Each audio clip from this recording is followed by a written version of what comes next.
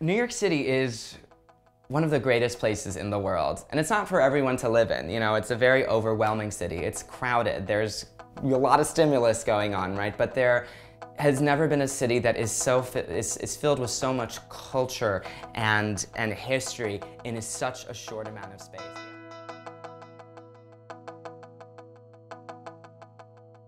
Um, it can be overwhelming to pick what to do.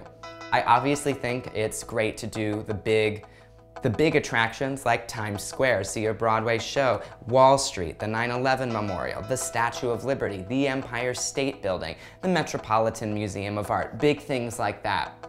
After you've done that, try to explore some local neighborhoods, all right? Because uh, that's the real New York. Yes, we have these big pieces of our history in more uh, commercial neighborhoods, but go and explore a neighborhood like Greenwich Village, or Soho, or Chinatown, or, or Upper West Side, or Harlem even, right? Um, how I discovered New York City is that I would just walk around and get lost. So that's what I encourage people coming to New York City to do.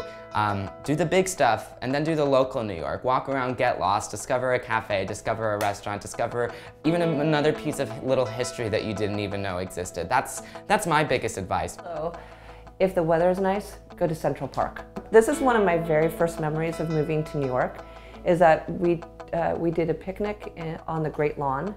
I didn't know how special it was. So Maybe grab yourself, um, go to one of the local grocery stores, pick up something to eat.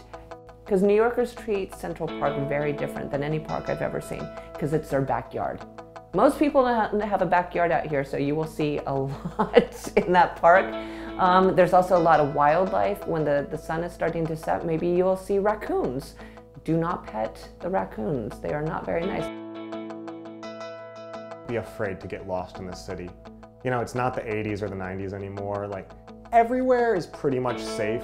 Go to the East Village. Go to Brooklyn. Go to Harlem. Just go places that people don't recommend. Find those, like, not for tourist guide, New York, and, like, just go somewhere different. Go up to Fort Tryon Park, you know? Way up, like, past the heights, like the, the top of Manhattan.